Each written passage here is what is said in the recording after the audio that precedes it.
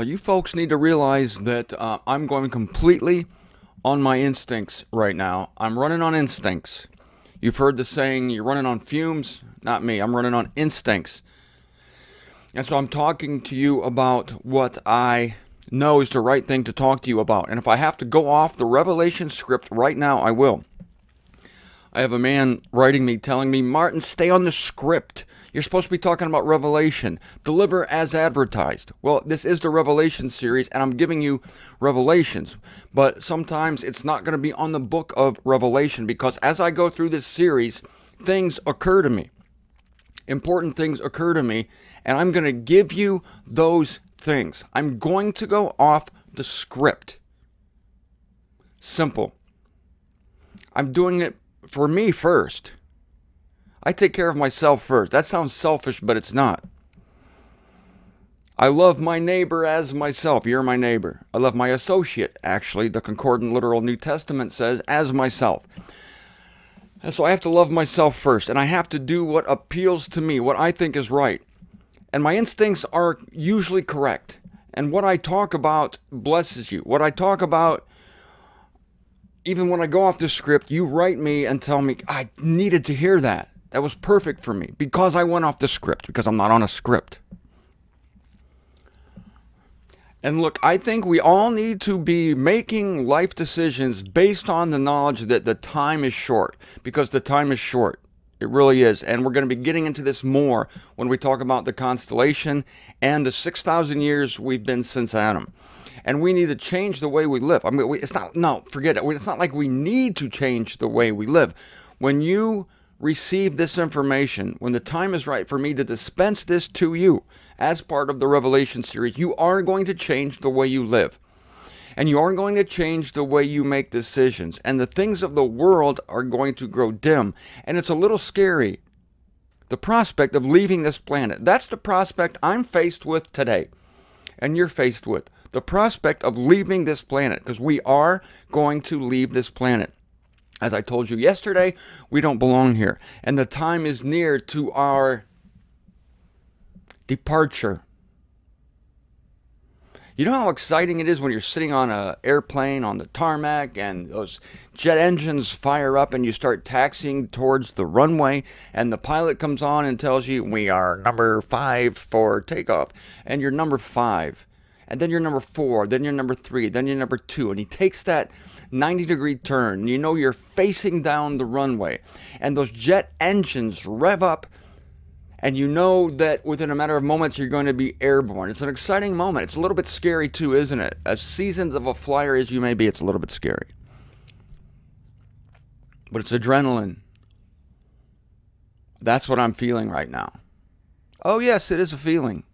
My feelings are based on facts. My feelings are based on scripture. My feelings have a mooring in reality. And the reality, as I've been telling you, is the Word of God. Along that line, I had a thought yesterday. Now, I'm still going to tell you a tale. And whether you like it or not, I'm going to tell you a tale about an Amish sign that I saw in someone's yard when I was walking eight miles a day in the state of Ohio to attempt to dissipate some of my angst and my anxiety concerning this call, which has me walking the opposite direction of everybody else on the planet Earth. Trying to survive here. Hello. And so, in order for me to survive, I have to tell you a story about an Amish religious sign that I saw in a yard in Ohio that's going to illuminate some avenue of truth for you that's going to be perfect for you when I tell it. That's the confidence I have that whatever I say to you is going to be perfect in its own time. Keep that on hold and keep the revelation of Jesus Christ on hold for now because I have a revelation concerning Paul's gospel. Okay, I told you a couple days ago that why didn't God just do the great thing first? Why didn't He bring just forget about death, bring life. Forget about um, Ishmael. Just bring Isaac first. Bring Isaac first. Forget about Adam. Why go through the preliminaries? Just bring Christ to us. Why go through death? Bring life. Well, I had another thought. I had another thought about this. I had another example. Why bother with the circumcision evangel? Because I tell you this what God is shooting for, and what He has been shooting for, and what has been in His mind the whole time is the uncircumcision gospel, the gospel of Paul. You see, that was in His heart the whole time to lavish unworthy people with grace and to take them to a realm far above earth and to really regale and to show off his kingdom to losers and to make them players with him, fellow laborers with him in the reconciliation of the universe. And he does this, I remind you again, with losers. That's what he has in mind all the time. It's exciting because it's extreme. It's so extreme to give nobodies everything. It's, it's so extreme to give losers the ultimate win. You see, and this is the opposite of the Israel gospel. And I wish all of you were watching the laundry cam right now because I'm going to do things with my hands like this and this that's going to explain to you the radicalness of our calling. It delights God to bring complete losers to an extreme expectation and an extreme realm of glory, beauty, and power. Glory, beauty, and power. To the ugly, to the weak, to the ignoble, to the stupid, to those of no reputation in this world. But, but no, see, that, that's what he really wants to do. And remember, I've been telling you, he's shooting for the fifth eon. He's shooting for the new earth. That's when he's going, ah, this is what I've been shooting for. Why then are you doing all these preliminaries? Because they're a necessity. They're a necessity. It's necessary to introduce death before you introduce introduce resurrection. It's a necessity to introduce Ishmael before you introduce Isaac. It's a necessity to introduce Adam before you introduce Christ. It's a necessity to introduce sin before you introduce salvation. Therefore, ladies and gentlemen, this is a revelation to many of you for the first time today. It's a necessity to introduce the gospel of the circumcision before you introduce the gospel of the uncircumcision. Israelites aren't going to like this. Members of the body of Christ are going to love it. The circumcision gospel, the gospel of earning brownie points, the gospel of being worthy, the gospel of being baptized and circumcised and obeying laws and going to the temple and presenting your sacrifice this was not in God's heart. He said that himself.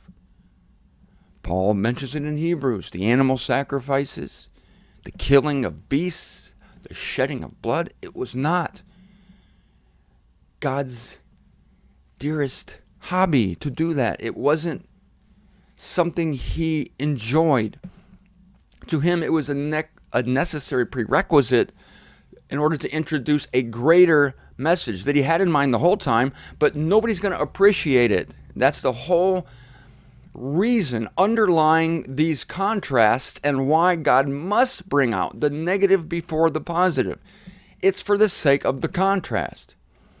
He needs death because otherwise you will not appreciate the greatness of life. He needs Adam, you will not otherwise you won't appreciate the greatness of Christ. He needs all these prerequisites and down the list of everything I just mentioned. He needs the Ishmael.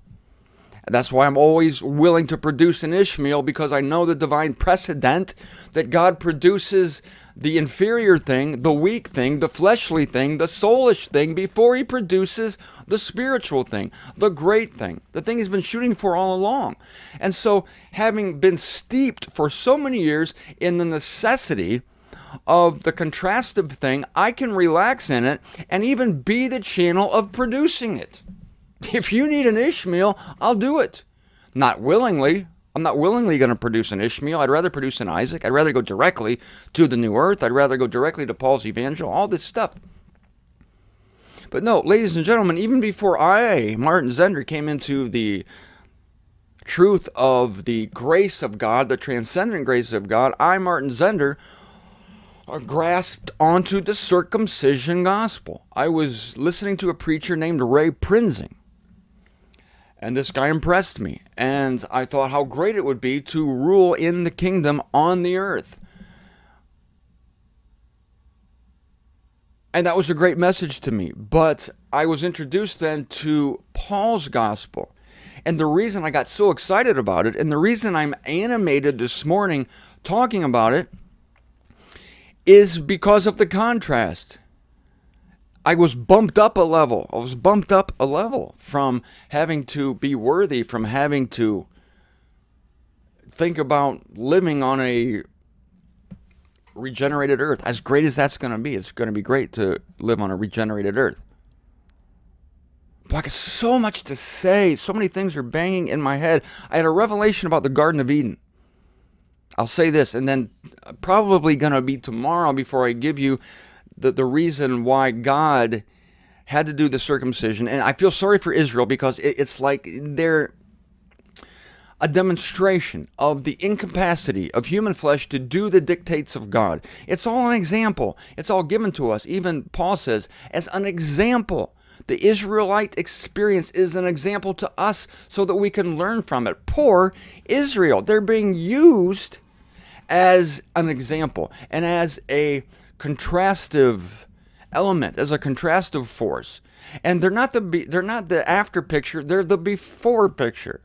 I once saw an episode of the Flintstones where Fred Flintstone was asked to uh, appear in a, a commercial, and he was advertising some sort of diet program.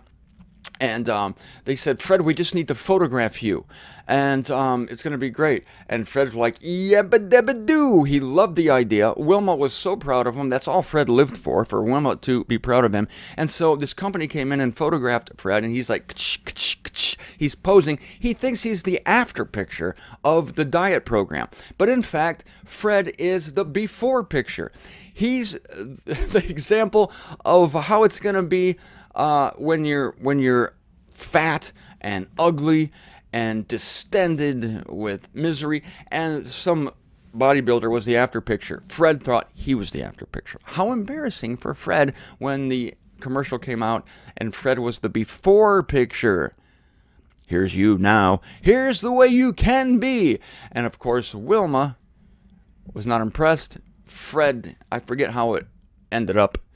Um, I imagine they all gathered around the table and had a brontosaurus burger and it all eased up. But Israel is the before picture, but they don't realize that. So they're all proud, they're all high and mighty. Even Israelites today, I see them in the street, they're so disdainful of the rest of us. But I have to admit to you, an Israelite smiled at me two weeks ago in Fort Lauderdale.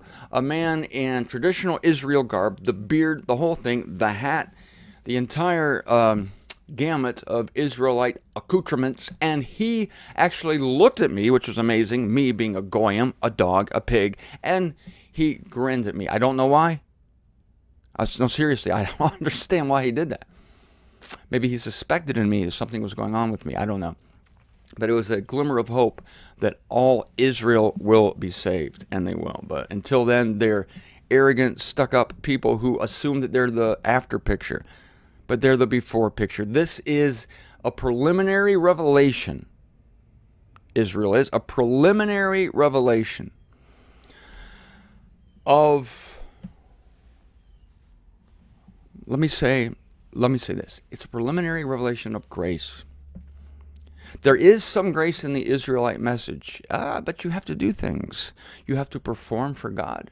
You have to approach with reverence. You have to bow down. You have to bring your turtle dove. You have to bring your goat. You have to bring your sheep. You have to produce fruit worthy of repentance. You have to acknowledge the God of Israel. You have to keep idols from your home. You have to not marry a member of a competing nation. All these things you have to do, and God is going to give you the earth. The meek shall inherit the earth. Oh, the meek shall inherit the earth. Yes, but the assholes inherit heaven. The meek inherit the earth, but the assholes inherit heaven. This is the great contrastive thing that I was showing you earlier with my hands.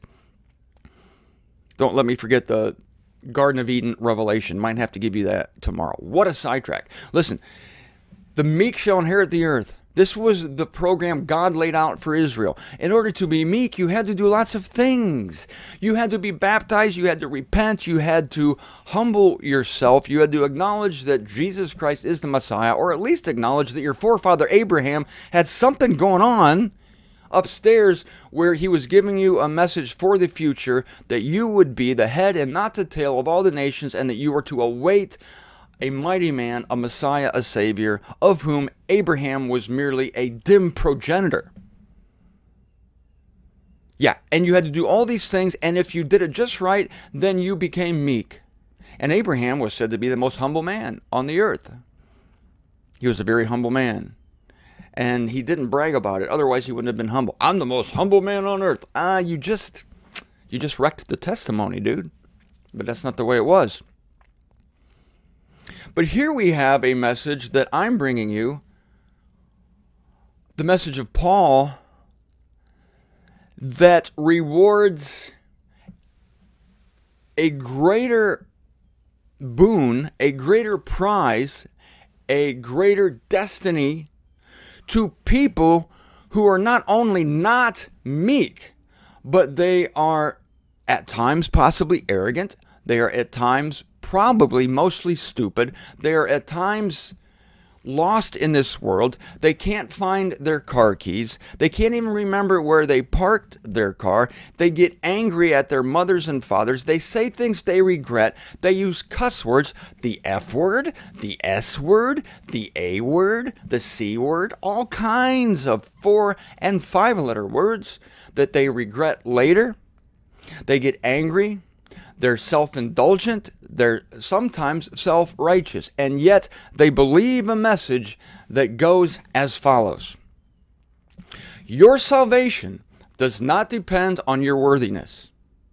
Your salvation does not depend on your degree of ability to worship or revere God. Your salvation does not depend on your behavior, on your attitude, on the way you treat other people. Your salvation depends solely upon the work, the intention,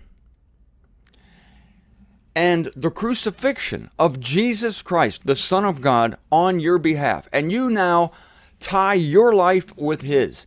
And you like a jellyfish. You're like a jellyfish in a way. You're just like i i am no longer anything. I'm tying my fortunes with this one person. And if this one person doesn't do it i'm never going to get it. Ooh god loves that. That's it. That's saving faith. If this one that is saving faith. If this one person jesus christ doesn't do it i'm dead.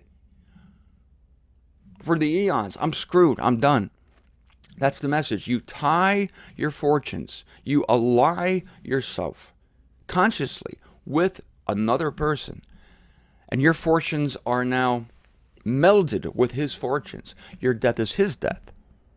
His death is your death, I should say. His entombment is your entombment, and his resurrection is your resurrection. His destiny is your destiny. Where's his destiny?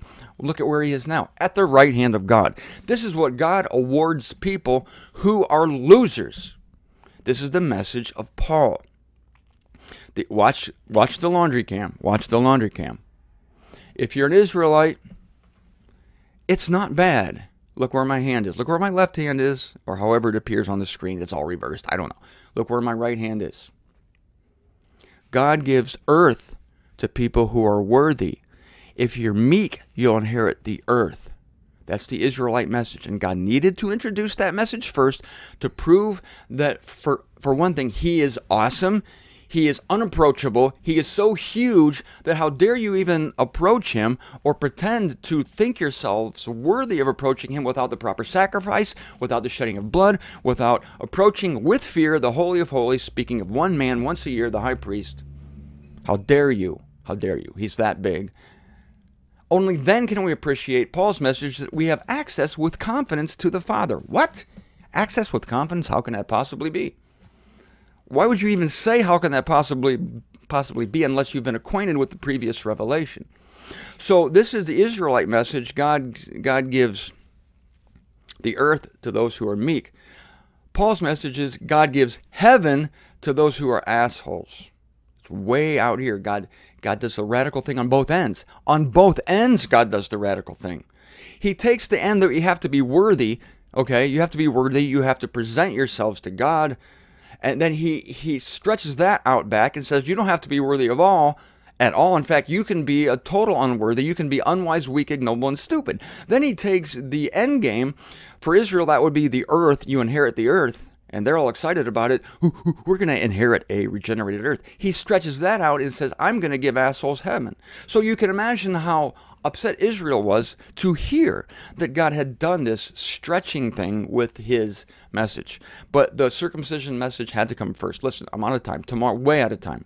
This is probably the longest show I've ever done. Tomorrow, I'm going to talk to you about my revelation concerning the Garden of Eden. Because here's another question, and I'm going to read some excerpts from The First Idiot in Heaven that I wrote why did the Garden of Eden come before the new earth? Because the, the new earth fulfills what the Garden of Eden started.